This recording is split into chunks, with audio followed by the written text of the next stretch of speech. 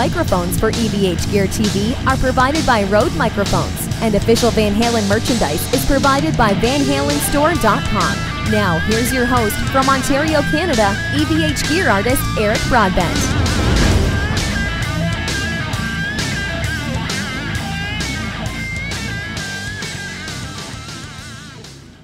Hey Eric, thanks. Hey, thanks for having me on. In the first place, it's it's an honor and always great to talk to a fellow Van Halen fan. I was very young when I first heard the the uh, first Van Halen record. I was hanging out with a bunch of older kids in the neighborhood that were a couple years older, and I remember it was whatever it was in '78 when I heard it, and the first thing I heard was "Running with the Devil," those opening chords, and I just I knew, even though I was only 12 years old or whatever it was, that it was special and it was a lot different than the ACDC and Aerosmith records that I was listening to before I heard that record. Eddie just, his tracks just popped right off and then it went into eruption. And then from that point on, it was like, holy shit, what is this guy doing? And who is he? And I got that Van Halen record and from that point on, he was just my guy. And everyone else just paled in comparison. He was so fresh and inspired and and he had so many signature isms to his playing that no one else was doing. And you could just totally tell it was him whenever he played. And that was so attractive to me as a musician. And even as a, I'm a keyboard player, I try to capture that kind of inspiration and uniqueness and try to integrate that into my style or as much as possible from a very early age. And I think compared to, you know, most of the keyboard players in rock, I'm totally, I have a total signature sound and you can totally tell it's me. And you can hear my influence from Ed Van Halen, Randy Rhoads, Yngwie, all of the great guitar players from that era. But Van Halen was the one who sparked it from the beginning. I, I love it. And I like the fact that you said uh, Running with the Devil because myself, I came into Van Halen much later. I discovered them through uh, Women and Children First and The Cradle Will Rock. And to this day, it's not my favorite song anymore. And I really wish it was my favorite song from Van Halen. Um, it's not, but I'm very, very thankful to that track because that's what made me discover. But I like the fact that you came in right off the hop with the very first track on the very first album, and you had so I much. I was in on the ground. I was in on the ground floor, and to me, it was my band. It wasn't my uh, older cousin's band. It wasn't the older neighbors, uh, Led Zeppelin. You know, this was my fucking band from the ground floor. And then at that point on, I'd listen to guys like Jimmy Page and all those Yardbird guys, and they all sounded like old farts, and their tones sounded crummy, distortion compared to like fucking uh, on fire and, and Eddie's playing. Eddie just it smoked circles around him from my, you know, perspective at that age. So I was all about Van Halen, even though they didn't have a keyboard player. It was just the spirit of the the music and the presentation. You know, with Roth and and Michael Anthony's background vocals and Alex complemented the songs perfectly and had rough edges, and it was just fucking awesome, man. To this day, that those records still stand up. The first uh, the first six. They certainly do. They they certainly do. And and I, I, do hear, and the world hears a lot of Eddie Van Halen. You close your eyes and you listen to you play, and uh, it's it, if they don't get Eddie Van Halen right away, they're some they're, saying to themselves, "What is it about his sound?" It's it's they know they've heard it somewhere, uh, you know, and it has a lot of Eddie Van Halen's the kind of DNA, I guess. Spirit. It's it's a spirit, and it's a uh, it's just an approach. It's a um, aggressive. It's a command of the instrument, and and an approach. And he was just. Uh, I, he's my favorite musician. I think he's great. I love it. I love it. He's really inspired us all for sure, and, and it's one of those things where he's he's inspired not only musicians, he's inspired manufacturers from guitars to amplifiers to the toys to the pedals to anything that's technology, you know, technological technological in between. Um, he, there's a lot of people working today because of that man. Oh, absolutely. And you know, Zakk Wylde and I are really good friends, and we we have this conversation, you know, dozens of times over the last 30 years about the great guitar players. And you know, the bottom line is Hendrix came out and did what he did, and he's you know like the holy grail. But then you got Van Halen. As far as game changers go, Eddie Van Halen after Hendrix is the guy. And for all the reasons you mentioned, not only just the playing, but his innovations on the guitar, like everyone all of a sudden had the single uh, humbucker on their strat and then everyone started putting graphics and and doing things and just reapproaching rock guitar and he really changed the game the, the world would be a totally different place today. Uh, the world and the music world, especially, uh, we'd probably have different guitars. Uh, it would be you know different sounds. So there's a lot of uh, um, respect uh, owed, or you know, to that man for sure. Here's something that we're going to get into actually talking about some performances that you've done yourself. Uh, you've recorded some nice tributes to Eddie himself, including versions of Spanish Fly and Mean Street uh, on piano. Um, I think that left a lot of us in witness, a lot of us that witnessed the videos uh, were kind of in shock, myself included. It's kind of like, what am I witnessing here? Were either of those songs hard to learn on the piano, or did they come naturally to you? No, they were difficult, like to work up some of those piano passages.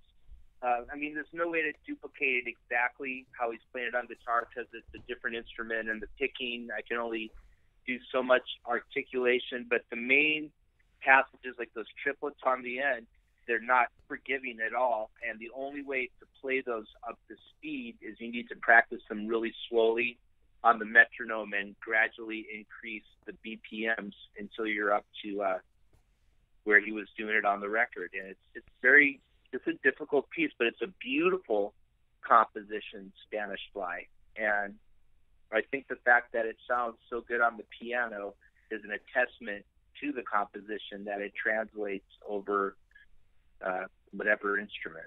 Well, for sure, the way you did it as well too, it would almost make one believe that it was uh, that Eddie wrote it on piano first and took it to guitar because that's how well you did it.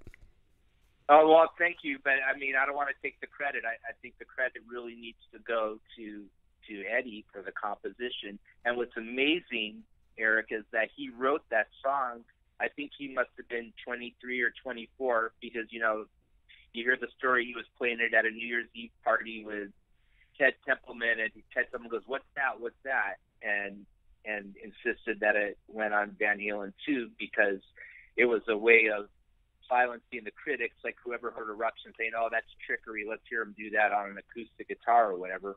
Well, here's Ed. He just picks it up and throws down, you know, Spanish Fly and 24, even if he's 24, 25, it's fucking amazing.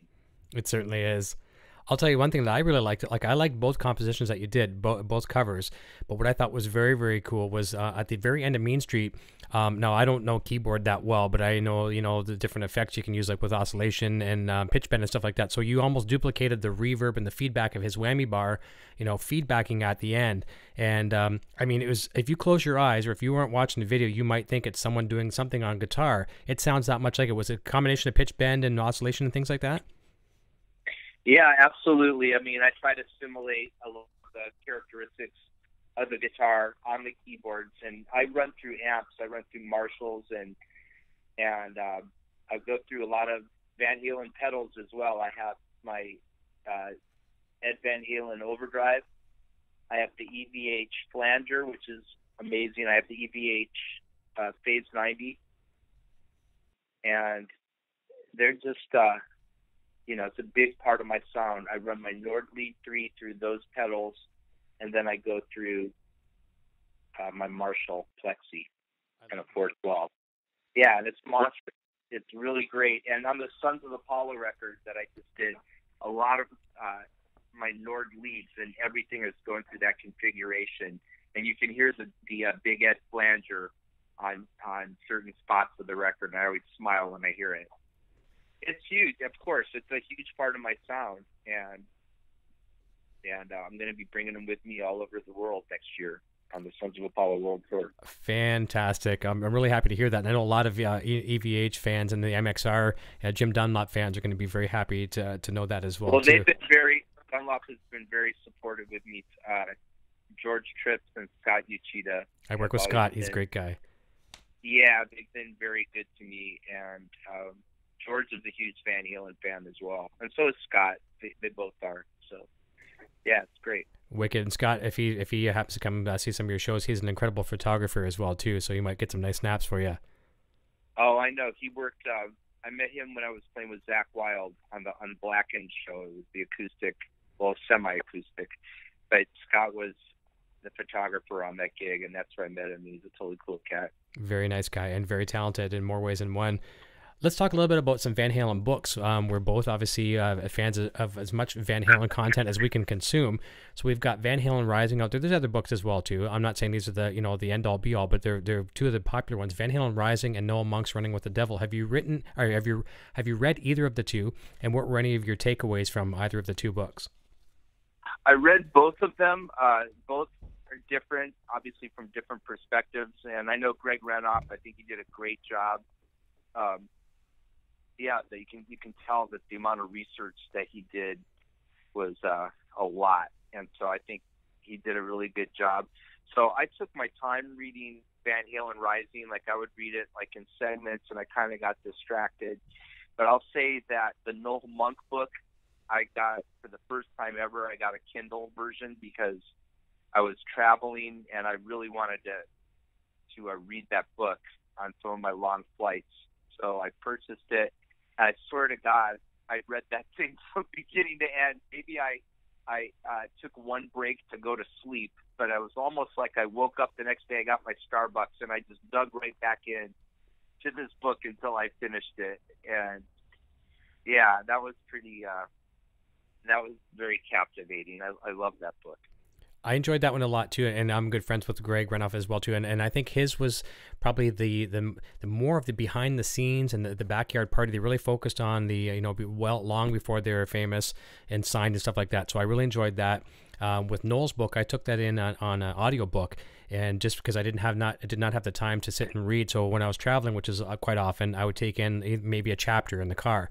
And same thing as, as you. I didn't do it as fast as you, but I did consume it in one week which was pretty good for an audiobook. And um, yeah, it was it was really amazing. It's just you really get to be that uh, that fifth member of the band is kind of sitting in there as an observer and, and really getting um, you know the history and the things that we heard and rumors and all that kind of things. So it was it was a very cool experience. Both of their books, love them to death. Yeah, that's great. I, I mean, I I can't uh, read enough of that stuff, so I hope more come out. I think they probably will for sure.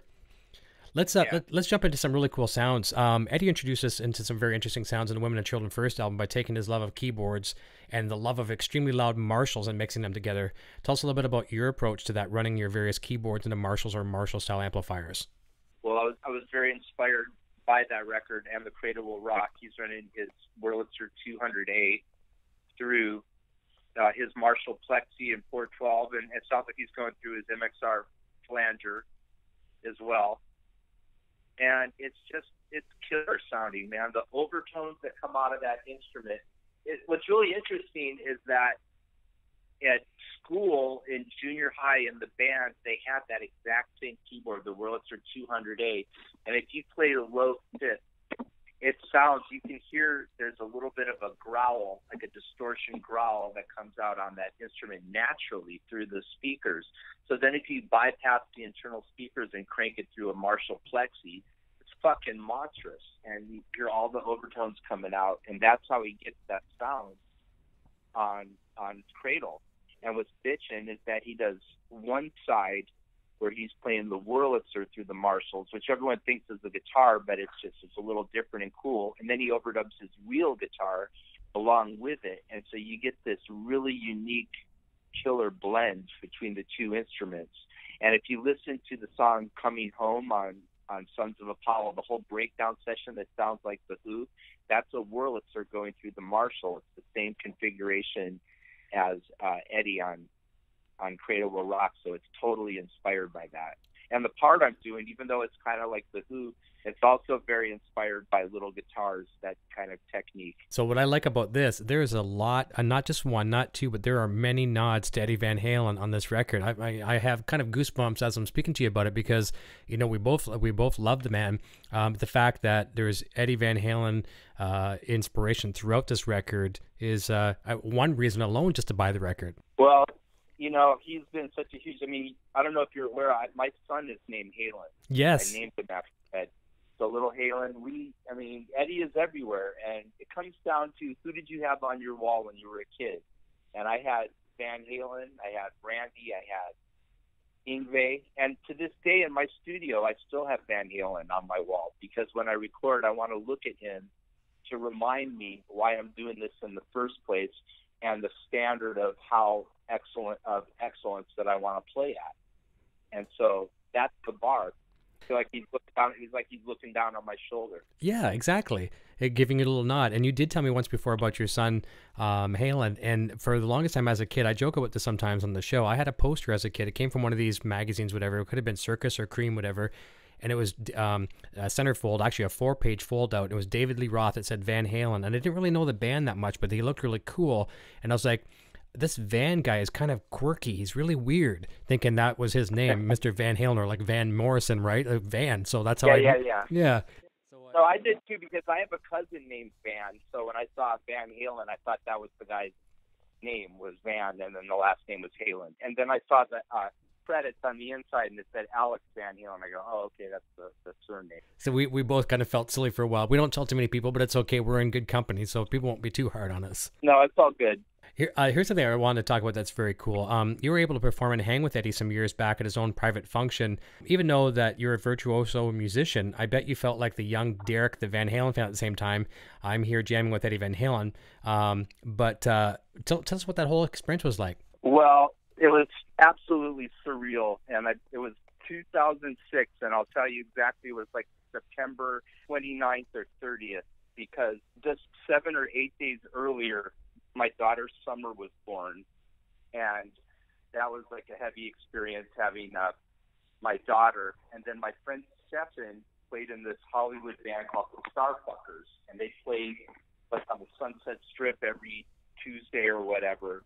So for some reason, Eddie's wife to be Jane saw the Starfuckers playing and said, "I want this band to play at at Ed's party." Well, Ed just did soundtrack for some uh, porn director, and they decided to have a huge party up at the Van Halen house up at 5150 up on uh, Coldwater. And so, anyhow, the Starfuckers were hired to play this show, and my friend Stefan knows how much I was into Van Halen. So he goes, he goes, Sherinian, you got to do this gig. And we're playing at Van Halen's house. And I go, no way. And so I was on the gig. I'm totally excited. So we get there the day before, and I was playing with Billy Idol at the time. Mm-hmm. And Billy was going to do the gig as well. So we show up, and then boom, there's fucking Ed, and it was just it was very surreal. And I've played with a lot of big stars in my career, and I'm constantly around that shit. But when I was around him, it was just like a different level of uh, starstruck. I, I turned into a fan, but I, I, I had to like keep my cool because I'm like going to be playing with this guy. Mm-hmm. He then said, "I want to play too," and then so it's like, "Oh my God!" This just turned into even a cooler thing. So this day before, there's people like scrambling around or whatever. I don't know what compelled me, but I went up to him and I said, "Hey Ed," I go, "Can you take us up to the studio and, and show us?" And he goes, "Yeah, come on." And so me and the drummer Brian Tichy, my friend, who's Mhm. also been with me and Billy Idol at the time, we the three of us go up from where the main house is, and then you have to go up like this path or whatever. And then the guest house is what's converted into 5150. And so we walk into the studio, and I, I look in the control room, and on the walls hanging all these guitars. There's the Shark guitar on Women and Children First, and all these other uh, guitars that I've seen since I was a kid in, in magazines. And I'm just going, holy fuck, this is insane. And and then he took us through the rest of the the uh, studio, and Alex's drums were there, and they're all mic'd up, and then you can see the vault with all of the 24 track tapes and two inch tapes of unreleased stuff, and it was just amazing. And Ed was telling stories. It seemed like uh, two hours we were up there, but I bet in reality it was probably like 45 minutes. It was insane, and he's telling us stories. Then we played and rehearsed, and then the next day we did the gig. And there's some footage of it on YouTube. There's like two or three of the songs that we played, so it's documented. And it was just, uh, it was definitely a bucket list moment. You know, it was really, really fucking cool. I, I can't I can only imagine what it'd be like. I mean, it's it's one thing, like you say, you, you're around celebrities all the time, and with some of the world's greatest musicians, you have a handful of them in your band right now. Uh, however, you know, being uh, in the same presence of Eddie Van Halen is one thing, and that's kind of hard to get your composure and and have a you know a legible conversation and not sound like you know super fan, but to be able to play with them and be respected by him as well, because obviously he was happy uh, to have you there. Um, says a lot about yourself, but just just living in that moment, I know that's something that you'll never ever forget for the rest of your life. No, definitely not. That was a killer moment. But a little other side note is uh, Women and Children First. That was my very first concert. You said that was the first record you got? Uh, not the first record I got. The first time I heard them actually was my cousin's record. They played in the Cradle Will Rock, and that's oh, how I discovered it. Yeah, yeah. The first time you heard was Women and Children First. Well, the first concert I went to was Women and Children First, 1980, and the opening band, Talas. Billy Sheehan on bass. Oh, fantastic! Yes, yes. So he's the first rock concert I ever was at. The very first band I saw was the opening band for Van Halen Talas with Billy, and now I'm playing in a band with him. Uh, fuck, how many years is that? 37 years later. That's crazy. And you have him in your band, and Billy is a huge Van Halen fan, as we all know as well too. Oh, it's great, and he tells stories about being on that tour, and he told the story. He was almost uh, at one point they were betting him to possibly be in Van Halen, and it's a true story. He told me all about it, and I believe him. I heard I heard rumors on that on that subject as well too, and I just think I think it probably it, I love Billy to death. I, love, I mean I worship the ground he rocks on. Matter of fact, I talked to him today. He wants to come on the show as well too to talk some Van Halen. But I don't think it would have worked overall because, um, and it's no disrespect to Eddie and it's no disrespect to Billy. It's just I don't think. See, Billy, I think really worked really well with Steve Vai uh, and David Lee Roth because it was a trade off back and forth. I think in Van Halen, yeah. I think Mike just the way Mike uh, just holds the pocket, and I Billy can do it. Don't get me wrong. I'm not trying to say that, but Mike and Alex just hold that pocket where Eddie does his thing. I think maybe in the in the long term, if you're looking back in hindsight, it probably um, was for the better that he didn't join the band. But I mean, it would have been a cool opportunity for him, wouldn't it? Well, I mean, I, I agree with everything that you said. I think the best lineup is the original lineup because there's a chemistry between the four of them, and it's you know rare.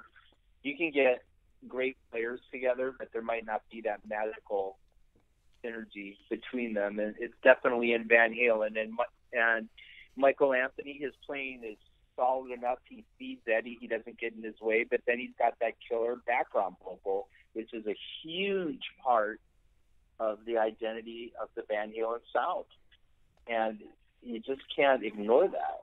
You can't like pretend that that's not there. So Exactly. I've said it many times in the show. Like, there's not just there's more so many voices, and there's obviously Eddie's guitar. You think of Alex. When I think of Alex, I think of his snare. Before I think of anything else, I think of his snare. It's a voice. Michael Anthony. I know his bass is just in the pocket, but that voice is is so so important to Van Halen.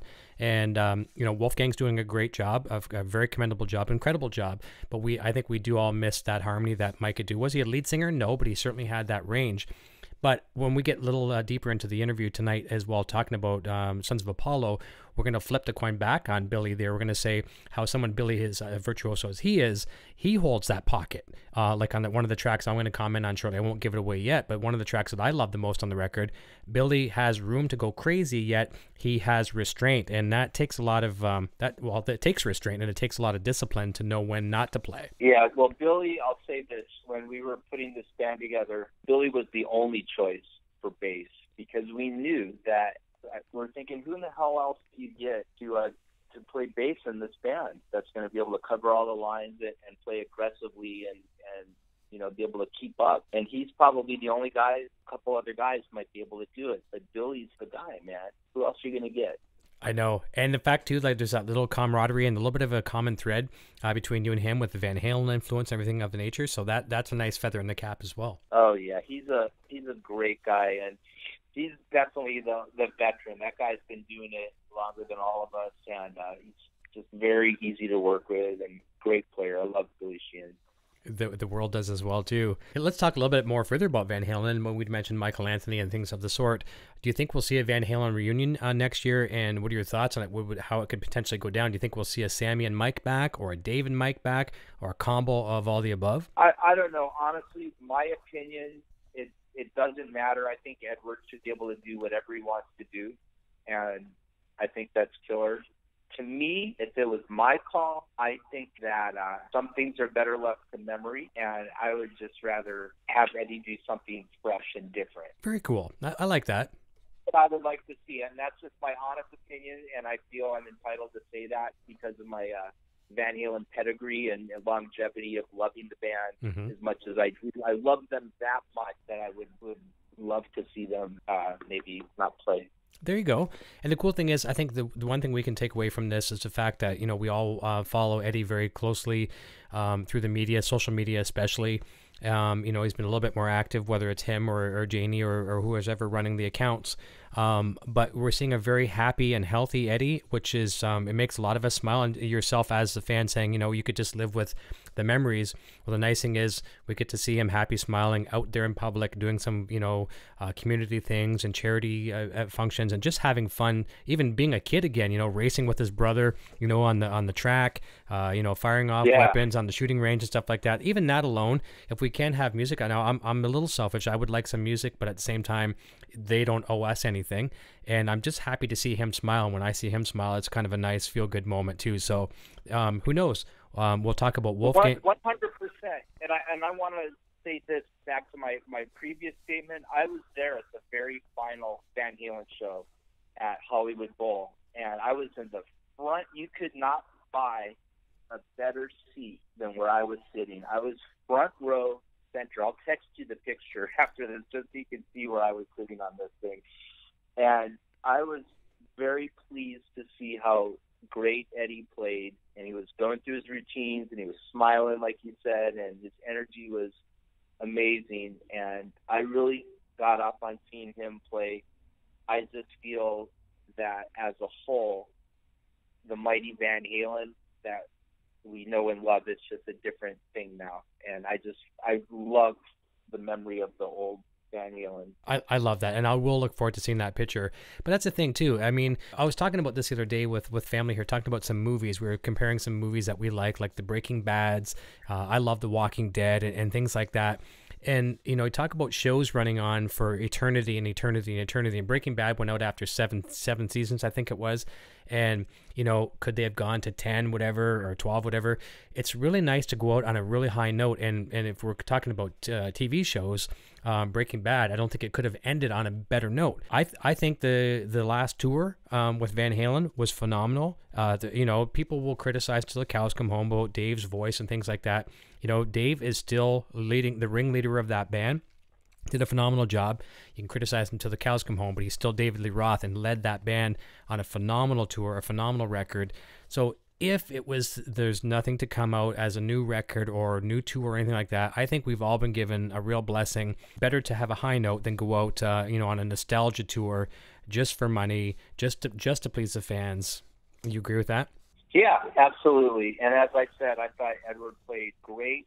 I thought it was really cool. If it was the last time I was ever to see him play live, I'm glad that he sounded as great as he did. Perfect. Good good way to good takeaway from that one for sure. Something you'll remember your last concert seeing Van Halen, if it was the case, if it was the case, uh, emphasize if, uh, then it was a good memory for you. We talk about uh, the vocals with um, you know background vocals with Michael Anthony. Now you know Wolfgang is handling the bass duties and the background vocals, doing a very commendable job. That kid is going to be. I I peg him as going to be one of the next guitar heroes and virtuosos in many many instruments. Have you been following his progress on the upcoming solo album? What do you think the future holds for him? I haven't heard his new solo records, but I heard his tribute to um, when he played Eruption to honor it. I think it was 40 years or whatever, and, and it was beautiful how perfect he played it and his attention to detail. And, and he's a monster. I remember when I did that Van Halen gig up at his house, Eddie was playing VHS cassettes of the Alex, Wolf, and Eddie rehearsing the songs because they knew they were going to be getting ready to play with Roth. So they were going through the stuff, and he was playing us the videos. And, you know, you can hear, great, he's got it. I mean, fuck, how can you be born to Eddie Van Halen and not have it? That would be really weird. That's right. You know, you know, my favorite yeah. part of that, my, and this might sound silly, but I, I, it's from the heart. Here's what I love about that performance when he did, and you know, his uncle Pat uh, Bertinelli recorded that in the studio. Um, what I love about that is not his performance. His performance was brilliant, bang on. But watch the very, very last second. I actually have the video up on on my YouTube as well too. And you look at him when he he looks up, he's smiling. He's just got this grin, bigger than David Lee Roth's grin. And I don't think he was grinning because look, I'm playing Eruption. Number one, I played my dad's famous piece, and I and you know what? I'm so proud of my dad. That's what I took out of that. Yeah. Well, I'll tell you honestly, this is uh, Billy Billy Sheehan was our first and only choice for Sons of Apollo, but as a backup, if, if Billy was not available for us and didn't want to play, one of the names that that came up was Wolf Van Halen. No way. No, it's it's it's true. But not all I'm saying is Billy was obviously our first and only choice, but we didn't know if he was going to uh, play this. We didn't want to assume anything, so we we had a uh, you know plan B, plan C. His name was definitely on there. Has that been discussed much before? No, never before. You okay if I hear that? Sure. Here's a staple question, and it's and I know we talked about Van Halen, the very first album, as how you uh, you discovered Van Halen. Now this could be the answer to the question, but not necessarily. What is your va- your favorite Van Halen album and why? Wow, it changes and it's really hard to say, but I think Fair Warning uh, to me is just fucking awesome, and it totally kicks ass. And it's different than the other ones. I love that there's no cover songs on it, and Eddie's playing is just fierce. That's the album where he really started tapping into the Holdsworth. He did on the Women and Children a little bit. I think at that point he heard Holdsworth in the Dead of Night solo, and I think that that profoundly changed Ed. He started hearing all the fluid legato stuff for his interpretation of when he started doing like on the out solo of Drop Dead Legs, how you hear that on 1984. But mm-hmm. if you mm-hmm. listen to like on uh, on Sinner's Swing, that solo, the way when he's playing like that, that's all Allan Holdsworth based. I agree, and it's funny. I've been consuming so many interviews of yours with other uh, great, you know, media outlets, and I see just so I could be prepared for the interview with you tonight. And I see you bring up that name a lot. So obviously, there's a bit of uh, a bit of uh, an influence, or uh, you have a love for Allan Holdsworth as well, too. Well, the only reason why in the beginning is because I'd read every single Eddie Van Halen interview that came out, and then Eddie all of a sudden started talking uh, around in 1980, 81, 82. I you know forgot what year, but he starts talking about Allan Holdsworth and how this guy is the most amazing guitarist he's ever heard. So as a uh, you know 14, 15 year old kid who's totally immersed in in playing, I went out and bought everything possible at Allan Holdsworth. If Ed says he's fucking the best he's ever heard, then he's got to be great, right? Exactly. So I went in and got everything and started listening, and I said, ah, now I see where Ed is getting this. And it forced Ed for the first time to uh, think outside of his comfort zone and his go-to licks. Like if he had Van Halen 1 and Van Halen 2 behind him. And uh, I really think it, it surfaced on Fair Warning, not so much women and children. I think fair warning, there was a shift in his playing. And I think a lot of it was the Holdsworthian influence and his technique uh, went up a notch. I feel it. I think you're 100% accurate on that for sure. It's almost like a um, I describe his playing on that record almost like a race car weaving. You know how you know how uh, you know the, the the stock cars, NASCARs will warm up their cars or their tires while they're going on a track, like weaving in and out, getting warmed up, whatever. And just when you least expect it, there's just a, a huge acceleration and then back to it again. Uh, it's all over the map but it's phenomenal. It's totally controlled, but on the edge of control, if that makes any sense. Uh, edge of out of control. Yeah, I think that's a good analogy. And I have a friend that was an engineer on that session. He was like a second engineer, and then later on he worked for uh, Warner Brothers and and did digital restoring of the masters or whatever. But a lot of people don't know this. But there was a lot of tension between Ted Templeman and Ed on that record, mm-hmm. where Ted Templeman was trying to get Ed to evidently do a lot of overdubs, and and Ed, no Ed, Ed was trying to overdub a lot more, and he did on Fair Warning. You can hear a lot more overdubs, but Ed wanted to do even more. And Ted Templeman's going to know part of the magic of the sound is when you take a solo and the rhythm guitar drops out, and it's just Alex and Michael feeding you under the solo. That's what gives it like a jazz quartet or trio feel. Mm-hmm. So uh, yeah, Unchained, one of the takes that I heard, there's like a rhythm guitar an additional guitar going on underneath the verses, like a gung gung. Okay. Going over and underneath it, down, down, down. There's like a secondary part going on, and it's like it. It sounds heavy as fuck, but it's not the same. No, And it wouldn't God be. that out. Yeah, thank God they took that out. But there's some other uh, takes out there, very rare that you don't hear on the uh, the internet. Only very few people have heard this stuff. What I, what I think is really funny is the fact that we, you know, I, I love to, I respect Ted Templeman for what he provided uh, for the first few records there.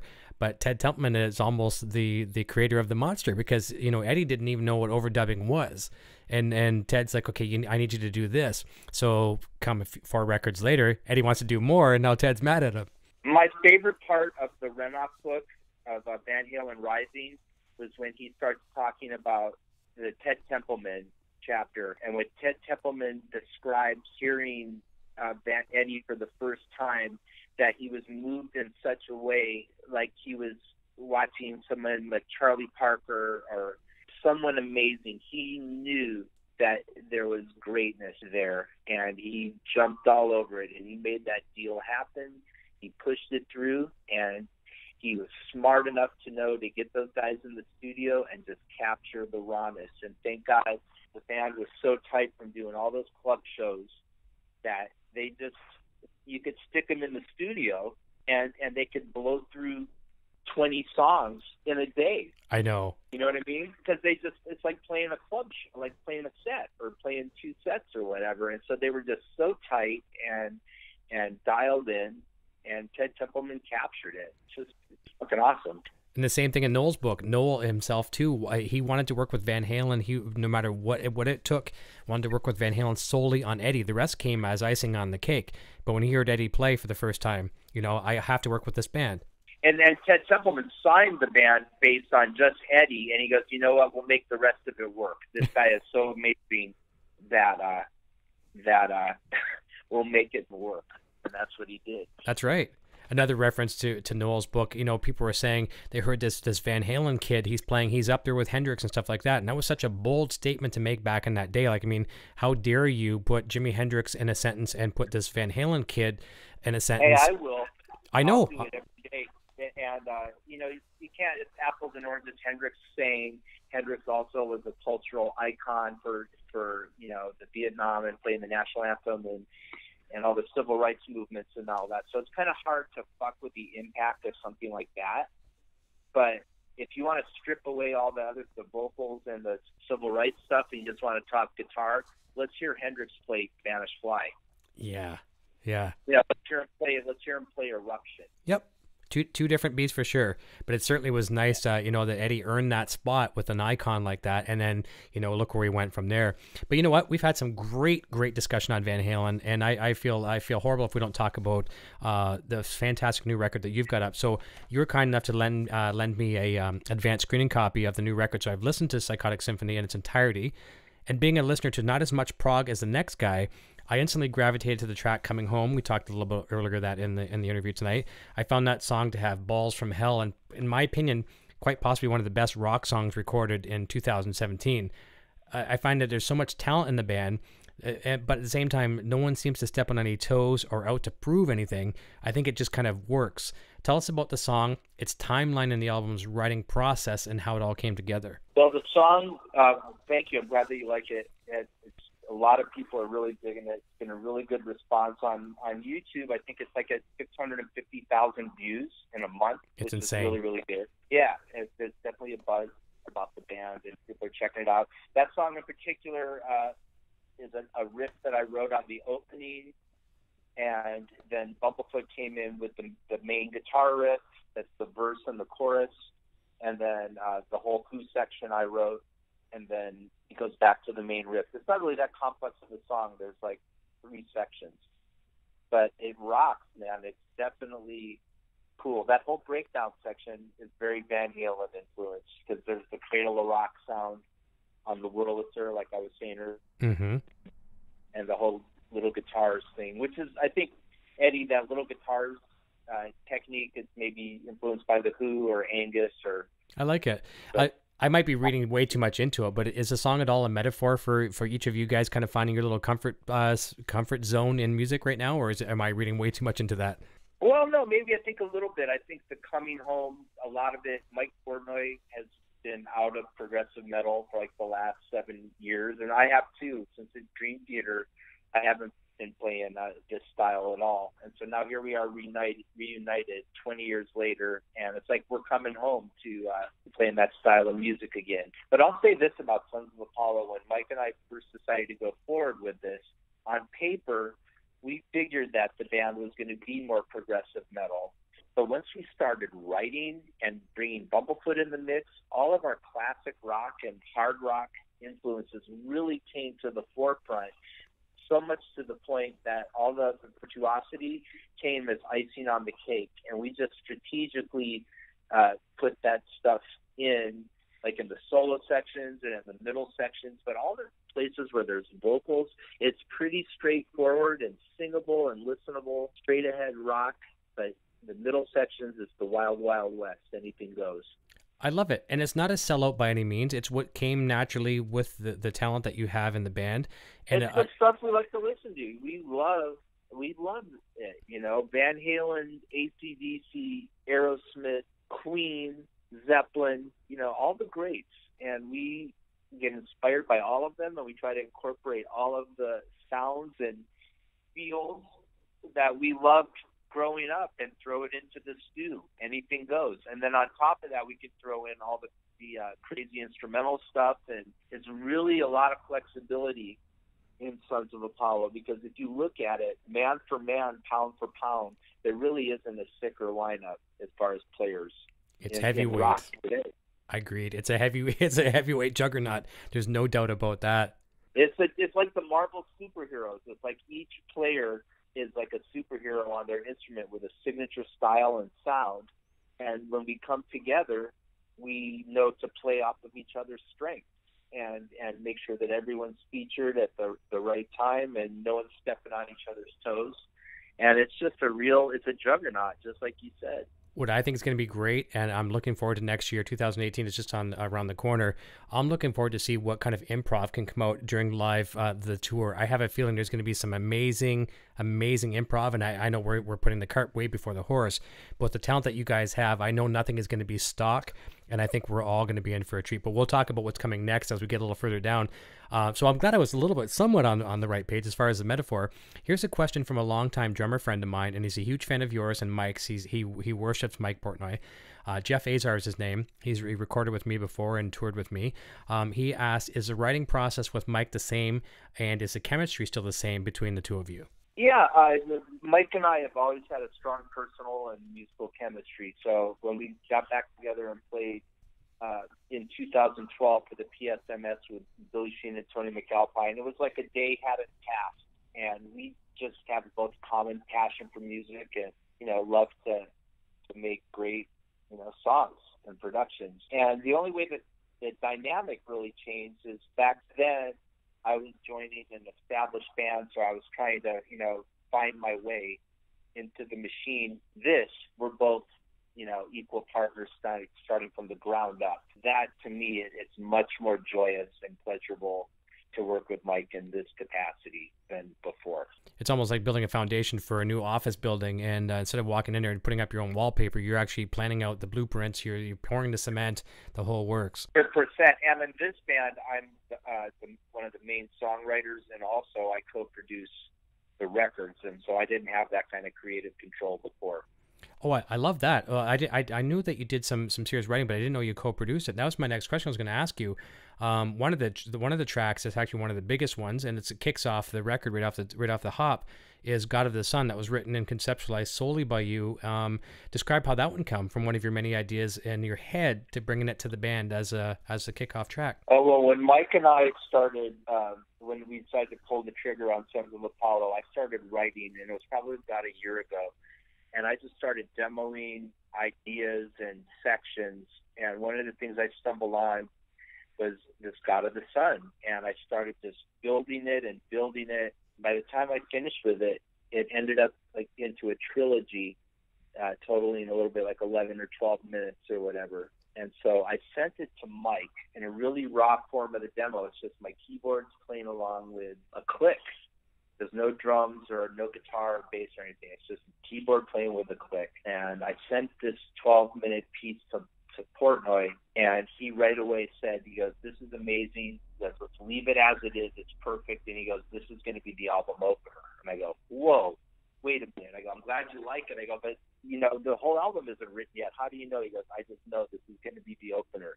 And here we are. It ends up uh, God of the Sun opening Psychotic Symphony. And so I was really happy about that. And it totally inspired me to just to keep writing and writing and writing. So by the time we got to the studio, like three months later, I had a militia of riffs and ideas. And then so did Bumblefoot. He had some really killer stuff too. And so we just threw it all in the stew, and, and whatever resonated with us as a, a unit, we would just finish up the musical composition of it, and that's how we did it. And then the phase two was with the vocals with Jeff Scott Soto uh, and Mike and I. We all got together and really, you know, set a very high standard for the vocal because we thought that the music that we did was fantastic and the vocals had to be on par or better. Of and course. So we worked with, with the melody lines, and Jeff just fucking kicked ass and did a great job in the writing. His voice is just very strong and very listenable. It doesn't have any of the the uh, cheesy cliches of prog rock, like the high. Oh, Nope, nope. Or, or the fake anchor, like I'm mad at the world, or no Cookie Monster vocals. It's just really uh, powerful and heavy. You know, there's there's a lot of singers that probably could have come to the plate and hit a double or a triple, but I, I really do think Jeff uh, he he hit grand slam with it with that record. You you said it totally. Uh, no cliches.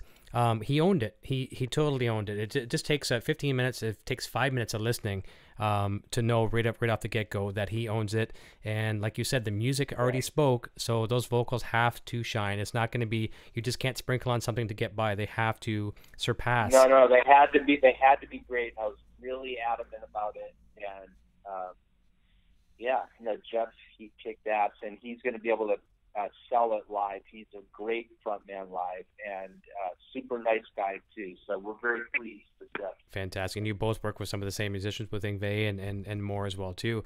Let's let's talk. It seems how you talk about some of these fellows. You've had a long time relationship with Mike, uh, both professional and personal. How would you describe your relationship with the, your new partners, Billy, Jeff, and, and Ron? I think it's great. I just met Ron for the first time the first day of the recording the record, and so I just felt a connection with him right away when I heard him play. I go, "Fuck, this guy's amazing." It was like a long lost brother, and so making the record was especially a pleasure because it was just a fresh vibe, and he was just so good. Billy Sheehan I've known for a long time, and so uh, I feel very comfortable with him and great. And Jeff Scott Soto I've known throughout the years, but never spent a lot of time with him, and I think he's a really uh, cool guy and and total pro and I'm just really blessed to be surrounded with this lineup. I think these guys are great. They sound great on record. They're going to kick ass live, and I think that we uh, have a big future together. And I think this is a really good thing for all of us. Sons of Apollo has the most potential to generate the most heat out of all of the bands and projects that we've worked in in the past. So we're we're very grateful to have each other and and this band and our record that's coming out on Friday. I'm very happy for all of you. I'm very happy for you, but I'm happy for the whole band, and I can hear the passion in your voice. Um, I mean, you're not selling me. I, I can hear it and I can feel it, and I'm just very very anxious. Obviously, I've been spoiled because I've been listening to the record, but I'm very anxious for people to get this record in their hands or their iPods or their physical their physical hands. Is this? I, actually, here's the question: Is it coming on vinyl too, by chance? Oh yes, it is. It's in like five different versions of vinyl, and so you can check out on sonsofapollo.com or also on Facebook, Twitter, Instagram. There's constant updates with everything, uh, our tour movements, on on everything. Yeah, upcoming videos. Great. I, I will make sure I put every single link to every entity to get the album, the vinyl I mentioned, uh, tour dates, everything like that in the description of the video when I make this a video and put it up on YouTube. So I'll make sure everyone can be led by the hand uh, to get this thing for sure. Let's jump into your, you just got back from a, a jam packed uh, press junket over to uh, Europe, and uh, I, I saw your daily itineraries. I mean, it was literally separated by five minutes from all these different organizations that were interviewing you and Mike. Uh, how were you and Mike received overseas? Oh, it was great. I mean, it was just the journalists, so it wasn't fans. But I'll say so. Out of we probably did close to four or five hundred videos or um, interviews in total, whether they're phoners or face to faces, and the reception has been amazing from everyone. Everyone loves the record. Everyone's excited. You can see it in their eyes, and you can hear you know the passion in their voice as well. And it's just universal that they love the record. There it is, man. If you have a fucking good record, people are gonna know, and people will come out to the shows. And that's just it. I mean, I don't have to sit here and sell it. With all these interviews, it's just like, you know what? Listen to it. It's going to sell itself. That's right, and you and you can you can tell someone when they're when they're out there selling, like I just said just a moment ago, the passion. I can hear it in your voice, and the fans will the fans will see it. They'll watch the videos, they'll listen to the singles. Uh, they're going to be able to get the album in a couple days, and then fortunately, in the near new uh, new year, we'll get to go see it on the live stage, and then we'll see it for sure. My last question for you for the evening is: um, the industry labels Sons of Apollo as a supergroup, but I have a feeling you don't, you guys yourselves don't necessarily look at that way. Share with your thoughts on how you look at your bandmates and what fans can expect from the five of you. I, I think when I I think supergroup is a from a perspective. I think from most people, I guess would consider us a supergroup. From my perspective, I mean, I I would think that Jimmy Page, uh, Geezer Butler, you know, all of those guys, that's a supergroup to me. But I think that we we uh, are a form of one. Yeah, you you have to say it because we all have such a strong pedigree. We have an octopus pedigree uh, you, you have to put more arms on in order to list all of our credits. I mean, it's pretty insane. So, yeah, I guess you have to call it a super group. Super musicians, super talented, super humble, and super good guys. That's what I find from all of you guys, and I think that's another reason. One of the many, many ingredients in this uh, massive recipe that works. You, you said you talked about stirring it all in the pot it all works. It's just uh, it's a great combination. I think it's a nice treat. There's not a lot of music that's out there today um, that's fresh than new that really turns heads. Um, I, I, I, think you can kind of count on a, on a couple fingers or at least a hand of things that make you go what. And I think this is one of them for sure. And uh, I'm going to keep going back. I, I don't want to just pigeonhole coming home, um, but that song, it, that goosebump moment as a kid, you know, you get that when you hear Van Halen or you hear whatever. It's just one of those things. Yeah. The panoramic uh, 360 view of the video, I mean, it might make you dizzy, but even reminds me as a kid being on one of those, you know, twirl whirl things when music was cool and I'm getting, I'm almost getting dizzy and nauseous because I'm being spun around so fast. It's just so many things that bring you back to your childhood. And it's, it's, it's a great record, great people. I'm really looking forward to see what 2018 and beyond holds for all five of you guys. Great, Eric. Thank you so much for taking the time and for this interview. And please send links, and I'll uh, post away. I will gladly do that for sure. Thanks so much, Derek. All right, Eric. Have a good night. Thank you very much.